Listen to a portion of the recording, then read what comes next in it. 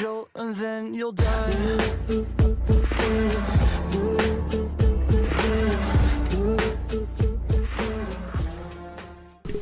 Hello hello hello, xin chào tất cả các bạn, mình à, là Hòa Thân đây. Thì uh, ngày hôm nay mình sẽ chia sẻ với các bạn đó chính là gì? Chúng ta sẽ nhận định thị trường về con vàng nhé.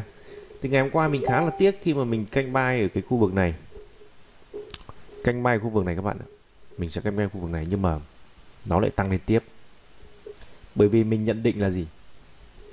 Thứ nhất, các bạn có thể nhìn thấy này.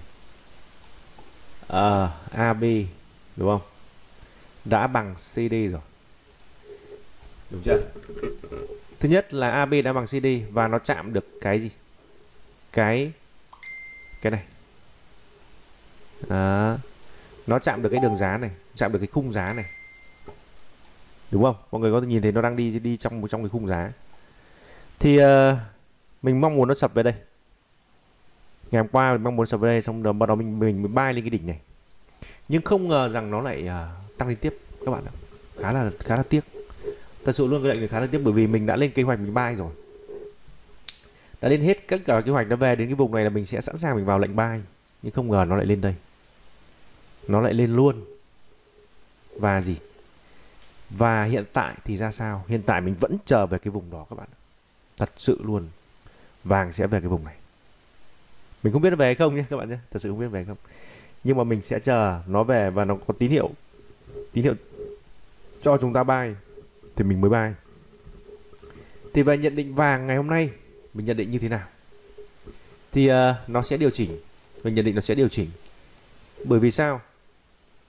Bởi vì thứ nhất là nó chạm được cái vùng này rồi đúng không? Vùng 10 uh, à, một ngưỡng tâm lý từ 12 cho đến 14 đấy một chạm được cái ngưỡng tâm lý rồi.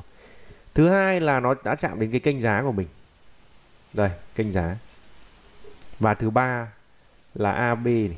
Đã bằng CD đó mọi người thấy không? AB cứ bằng CD là nó phải điều chỉnh đã. Đúng không? Sau đó nó mới tăng tiếp. Thì ngày hôm nay mình kỳ vọng một cái điều như nào? Đây là tham viên H4 của vàng. Mình kỳ vọng một điều như nào? Mọi người nhìn này chỉ số này đây là cái đỉnh cũ. Đây là cái đỉnh cũ. Đúng chưa? Đây là cái đỉnh cũ này. Đây là khu vực đỉnh cũ. Thì ngày hôm trước, nó cho chúng ta cái cây này. Mọi người nhìn này. Giá tăng nhẹ, đúng không? Qua vùng kháng cự với khối lượng nhỏ thì nó không bao giờ nó qua được. Mọi người nhớ đó. Back out thì nó phải gì? Khối lượng lớn. Back out nó phải là khối lượng lớn, đúng không các bạn? Thì đây nó muốn vượt đỉnh này. Và ở trong nhóm cốt thì mình cho một sell một lệnh ở đây. Và đã TB rồi bốn giá TB rồi. À, thì uh, gì nhỉ? Thì uh, giá gì? Tăng nhẹ. Gì? Qua vùng kháng cự với khối lượng nhỏ thì sao? Thì chỉ cần một lực bán rất nhỏ nó đã xuống rồi. Cho nên là gì? Cho nên là không bao giờ nó phá được cái đỉnh này cả. Đúng không? Mọi người nhìn thấy những cái cây phá đỉnh này những cái phá đỉnh là phải cây gì? Nó khối lượng lớn, nó mới phá được đỉnh đúng không? Thì chúng ta mới có cửa chúng ta bay lên, mấy giá lên đây. Nhưng mà cái này thì sao? Muốn phá đỉnh này khó lắm các bạn. Bởi vì sao? Khối lượng quá nhỏ như sao làm sao phá được đỉnh, đúng không? Thì đây là đây là một trong những ờ, cái điều mà Wicop nó hay sử dụng vào những gì? Thứ nhất là giá nhỉ. Đây này. Giá giảm nhẹ qua vùng hỗ trợ, đây vùng hỗ trợ, đúng không? Đây vùng kháng cự này, đây vùng hỗ trợ này thì giá giảm nhẹ qua vùng hỗ trợ với khối lượng nhỏ. Thì sao? Thì chúng ta có thể buy luôn. Buy cái lần đầu tiên nhé. Buy luôn. Đó giá giảm nhẹ với khối lượng nhỏ thì nó thì nó làm sao? Thì nó không thấy được không xuống được. Thì chúng ta sẽ sử dụng lệnh buy. Đó. Thì uh, giống như trường hợp này là giá tăng nhẹ qua vùng kháng cự với khối lượng nhỏ thì nó không thể nào vượt được. Đúng không? Thì uh, mình đã cho một excel ở đây. Thì mọi người có thể vào cái gì? Đây. Mọi người có thấy đúng không? Hôm qua. Hôm qua là một trong những cái công thức gì? Đâu nhỉ? M5 này. Đây. Mọi người có thể đúng MACD 2.0 không mình input lại nhé thông số là 8 này. 21 này. 5 này. Đây. Hôm qua mình cho xem một lệnh ở đây mọi thấy đúng không? Đúng công thức chưa? Đúng công thức chưa các bạn? 2.0 đúng công thức chưa? Tạo đỉnh vẫn mình sell luôn. Mình cho sell ở đây. Bởi vì mình biết là cái khối lượng nhỏ nó không vượt qua được được, được đỉnh cũ rồi. Và nó nó gì? Nó đạt cái chỉ số cái công thức 2.0 này của mình. Thì mình gì? Thì mình sell thôi. Đúng không? Rất là đơn giản. Sell đúng không các bạn? Giờ SI này nhìn chỉ số vị thế vào lệnh quá đẹp. Đúng không? Thì đó là cách mình vào lệnh này. Một cái tiếp theo này. Giá hiện tại nhé. Điểm hiện tại thì cho chúng ta cái điều gì? H4 mọi người nhìn này.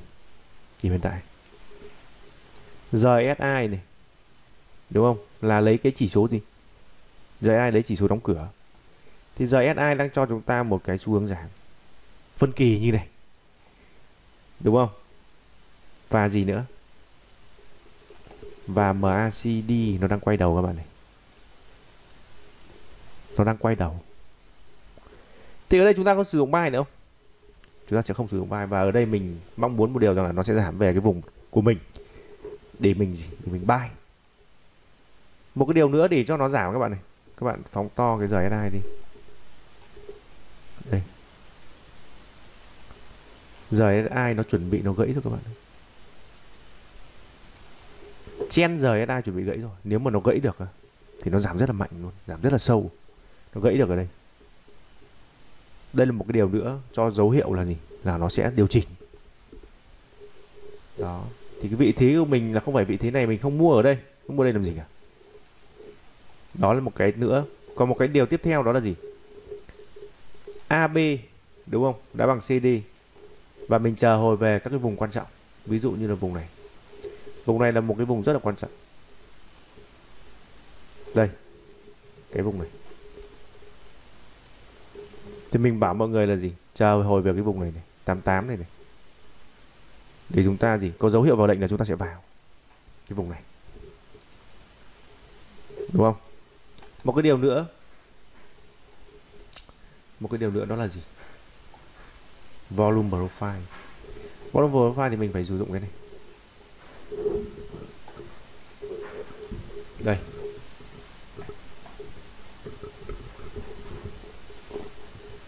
Volume profile cho chúng ta điều gì?